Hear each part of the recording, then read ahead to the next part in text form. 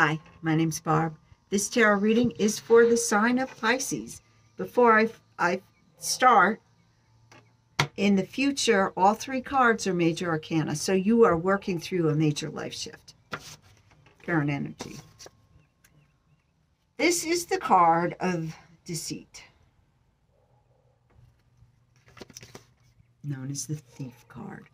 A lot of there was a lot of deceit around you, and I'm not sure, but I think there were two people who you trusted. One that was very money oriented. It could be um, a Capricorn, a Taurus, or um,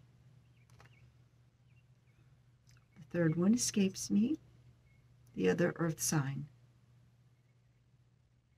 Well, whatever. Eh, or an air sign. But the the Queen of Pentacles knows who she's worth, knows she's worth, know her worth, whatever. And the Queen of Swords looks at a situation logically, and I think they were doing you dirty. Anyway, I really think so. Because in the current energy, this is the, the card of teamwork and choices to be made. Some are terrible. And it looks like possibly you did. If you've already made the choice, it probably will just bring you heartbreak. Virgo.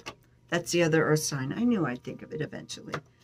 And um, doesn't have to be, though. It's just that sort of energy.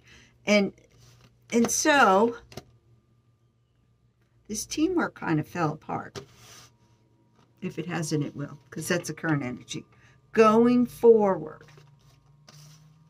you're just going to go on. You're just going to say, this sucks. And just take a leap of faith and just cut your losses and just go.